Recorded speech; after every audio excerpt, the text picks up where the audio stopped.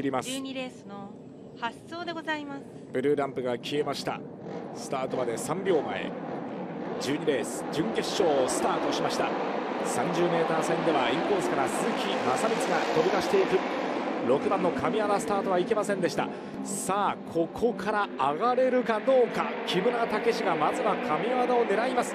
先頭は2番の柳井に変わりましたおーっと危ない危ない6番の神谷ちょっとバランスを崩しています。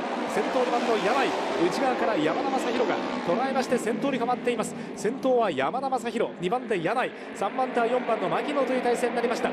1周回でバランスを崩した神谷は現在最後尾。かなりきつい位置とお伝えしておきます。3番手は牧野。そして鈴木正光。中段5番手には木村武が上がってきています。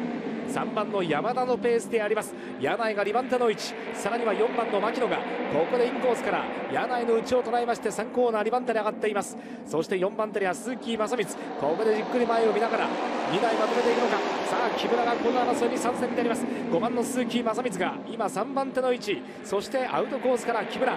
アウトコースから木村。2番の柳井と同体の状況から木村が4番手に上がってきています。先頭は山田。2番手は牧野。そして鈴木正光。さらには木村が続いて神山は序盤の遅れがたたりまして完全に圏外という体制になっています。さあ優勝戦圏内を巡りまして4番の牧野がリード。5番の鈴木正光木村が僅差の攻防であります。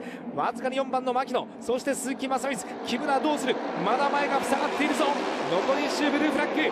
先頭山田正宏は抜け出した。2番手は牧野がリード。そして鈴木正光8番の木村が4番手から。まだまだ距離がありますが間を割ろうとしています。3番手に上がった木村。余力はないか？余力はないか？先頭3番。山田正宏トップでゴールイン。払い戻し金です。2連勝単式。3番4番。4320円。15番人気。